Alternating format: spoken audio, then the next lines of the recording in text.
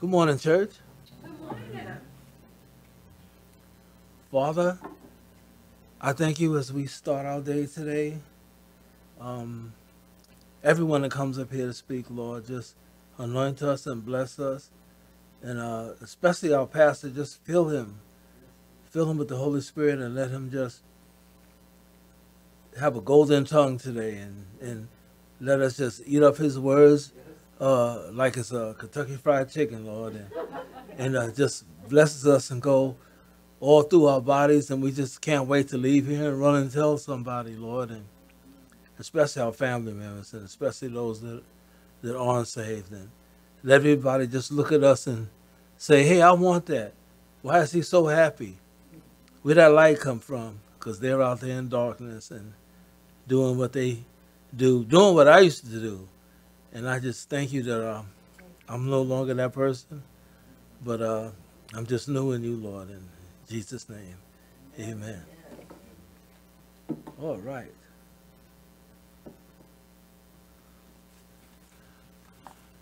So, um, people used to ask me, Hodges, where in the Bible uh, does God talk about us working? I mean, oh, thanks. Uh, can y'all hear me? Okay. Thank you. Um, do we have to work? Can I just be idle and sit around and, and wait till somebody else work and catch them coming out to check cash in place and you know, uh, the guy that's working, he's working for me. You know, they call them a suckers of squares, you know. And uh but we're gonna find out what the Lord has to say about that. So as usual, uh, if you guys got a pen, I'm going to give you three scriptures. The first one is going to be Genesis 2:15. This is the first place in the Bible where I'm saying the Lord does require you to work. Uh, the second one is First Thessalonians uh, 11 4, 11 and 12, and then the third one is Second Thessalonians 3 and 10. All right. So, here's uh the first one I told you about. Genesis 2:15.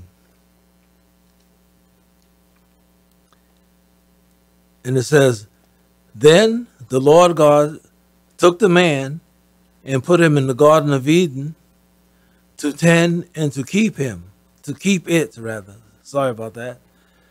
Uh, a lot of different translations will say, uh, I'm reading out of the uh, New King James, it'll say, put them in there to work, you know, to tend and keep it, to work it, not to sit around in luxury, because the Garden of Eden was luxury. Uh, beautiful place. And he could have sat around and sipped iced tea or play video games, but no. God didn't want that. He put them in there to, to work, you know, to keep it up. All right. Now, I think the second place I told you was uh First Thessalonians four and uh, eleven and twelve. And okay, here it is.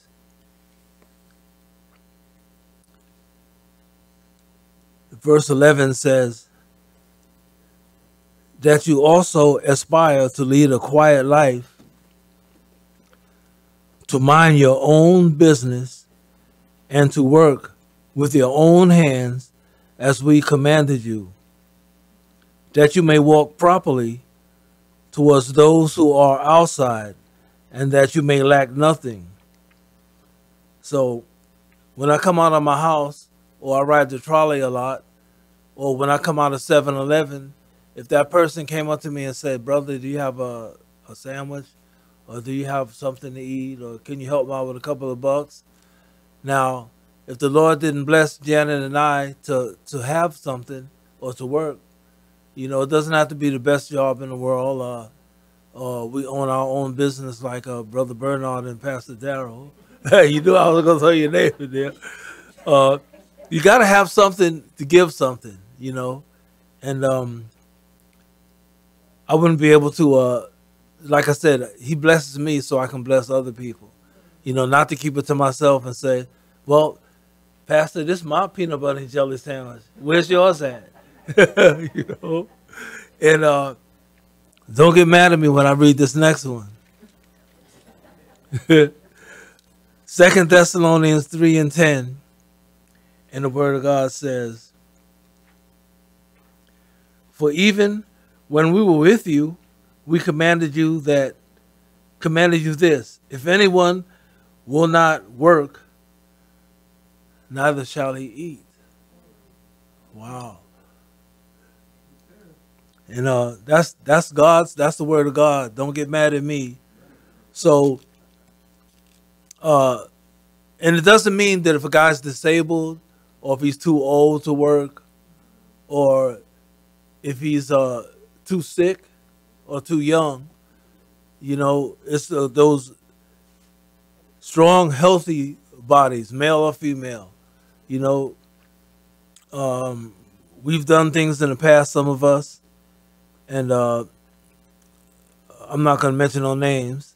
I wouldn't anyway, you know, because uh, I've done worse than a lot of other people, so I can't talk about nobody. But um, uh, there's things that uh, that I used to do that I thought uh, I didn't need to work.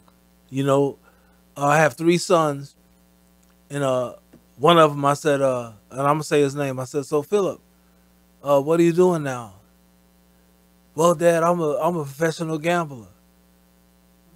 And uh, I thought about that, and I said, "Can't you get a job?" you know, that's that's not a job. Maybe it is a job, but to me, I'm old school. That's not a job. You that's that's fun, you know, and uh, you're not going to always win. So I, I just want to encourage him to uh, get out there and uh, and do something. You know, I try to lead by example uh, because they pretty much are following their friends and they see the dope dealers and the hustlers with the bling bling and driving the new cars and stuff and they think that's cool and and it's not. So anyway uh, the message this morning is uh, not pastor daryl's message but mine is this edification. So get out there and work and uh, uh I don't know who this is for, but get out there and work and uh, and stay healthy, you know, and take good care of yourself. And uh, if I can do it, anybody can do it. I'm 70 years old, and the Lord has not told me to retire, you know, not even close. So I'm gonna work until they pry my old dusty fingers off the doorknob to get to the time machine, the clocking machine, not time machine. Like I'm going to this. anyway, um. And uh, as usual, it's time for me to get down before I get that look. okay, so you guys be blessed and uh okay.